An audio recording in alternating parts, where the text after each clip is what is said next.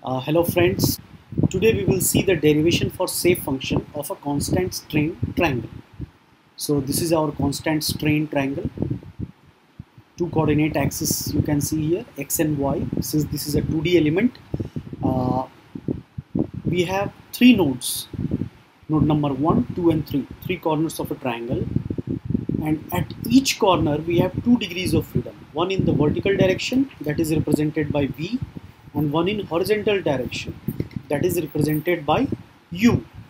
So at one node we have 2 degrees of freedom so we have total of 3 nodes. So for this element we have 6 degrees of freedom. The displacement vector is represented by U1, U2, U3, V1, V2 and V3.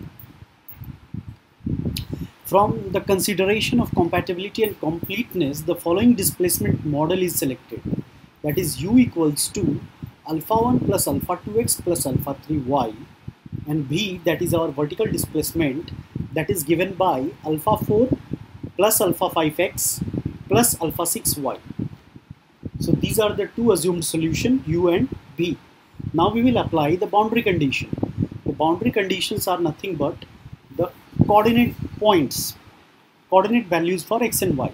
So for first node u1 equals to alpha 1 plus alpha 2 x1 plus alpha 3 y1. See here, in the first equation we are putting u equals to u1 that is displacement of node 1 okay and for x and y we are replacing x1 and y1 similarly for node number 2 displacement in horizontal direction is given by alpha 1 plus alpha 2x plus alpha 3y y2 here x and y is replaced by x2 and y2 similarly displacement at node 3 u3 is given by this expression. Here we are replacing x and y by x3 and y3 so these are the three equations. Okay. Uh, now we will write this in matrix form. We will try to write this in matrix form. So the matrix form will come like this. U1 u2 u3 these are this is our variables. That is 1 x1 y1 1 x1 y1 1 x2 y2 1 x3 y3 that I have written here and alpha 1 alpha 2 alpha 3 if you will do the multiplication suppose u1 equals to 1 into alpha 1 x1 into alpha 2 y1 into alpha 3 so this is your first equation. Similarly second equation u2 1 into alpha 1 x2 into alpha 2 y2 into alpha 3 likewise you will get u3 1 into alpha 1 x3 into alpha 2 y3 into alpha 3 so this is your u3 so this is the equation and the unknown is alpha 1 alpha 2 and alpha 3 that we have to calculate. So to calculate this alpha 1 alpha 2 and alpha 3 uh, what we will do we will bring this term on the opposite side. So this will become inverse. So alpha 1 alpha 2 and alpha 3 will be equals to inverse of this matrix into u1 u2 and u3 that is your displacement matrix. Now uh, you have seen in your first year of engineering how to calculate the inverse of a matrix. That is given by 1 upon determinant of that matrix into uh, adjoint of that matrix. Okay. So the the determinant of this matrix will be equals to 2 into capital A. Here capital A is the area of that triangle area of your constant strain triangle. Okay?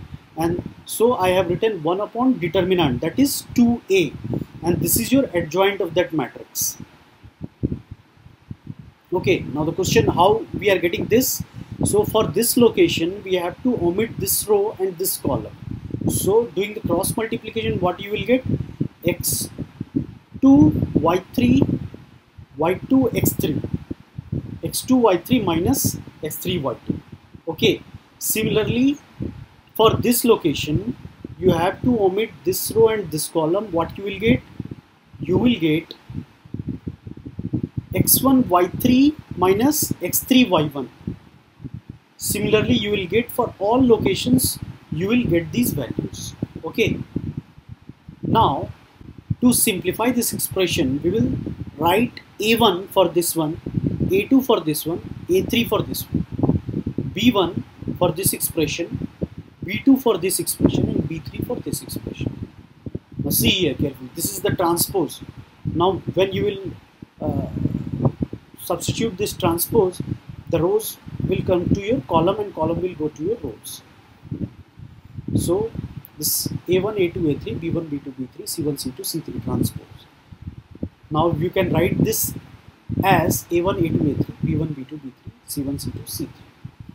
So this is the value what we have obtained for our alpha 1, alpha 2 and alpha 3.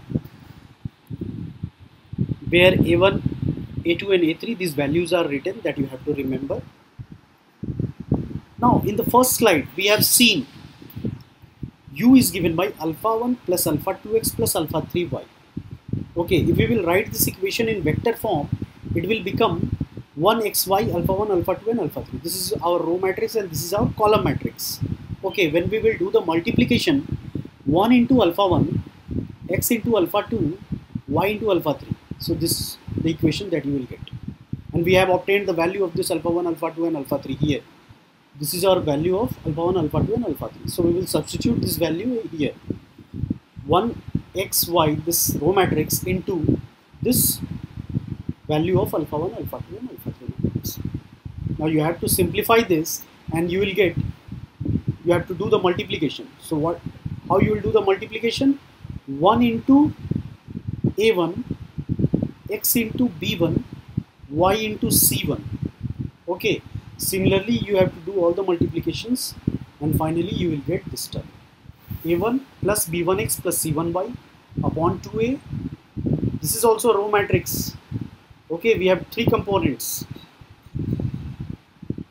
The second component will be A2 plus B2x plus C2y upon 2A. The third component is A3 plus B3x plus C3y upon 2A. These are nothing but our shape functions.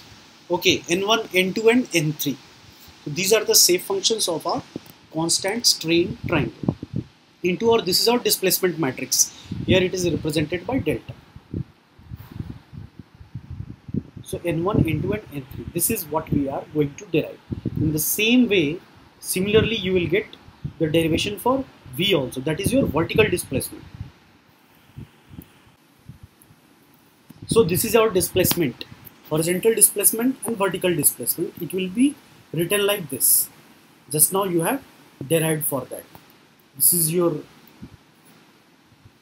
this into u1 this into v1 v2 v3 so we can combine u and b and we will get an expression like this. In some books you will find that n1 0 n2 0 n3 and 0 okay so there you have to pay attention. This order will be different. If that is the situation n1 0 n2 0 n3 0 so here here it will become u1 b1 u2 v2 u3 v3 so i will suggest you to go with uh, these notations and this is our shape function. Thank you